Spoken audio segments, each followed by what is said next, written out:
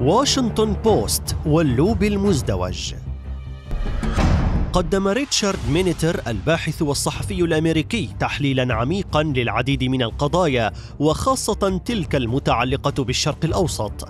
مينيتر الذي عمل في كبريات الصحف مثل واشنطن تايمز وواشنطن بوست وول ستريت جورنال تطرق خلال لقائه مع الرياض اليوم إلى عالم الصحافة ومدى تأثيرها في صناعة القرار الأمريكي.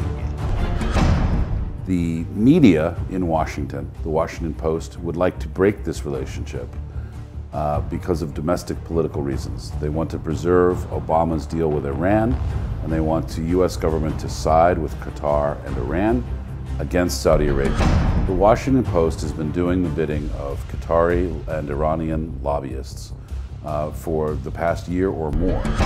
A different president would probably have caved to pressure from the Washington Post. It's hard to estimate just how powerful the Washington Post is in the DC market. The opinion of the Post shapes the thinking of most of the decision makers in DC. Even people who subscribe to other newspapers also subscribe to the Washington Post. So for the two competitors, the Washington Examiner and the Washington Times, 80% of their subscribers also take the Washington Post. It shows you how influential uh, the Post is. If you look at American newspaper markets, no newspaper dominates its home market as much as the Washington Post dominates Washington. The New York Times does not enjoy that kind of power in New York. The LA Times does not enjoy that kind of power in Los Angeles. This is unique.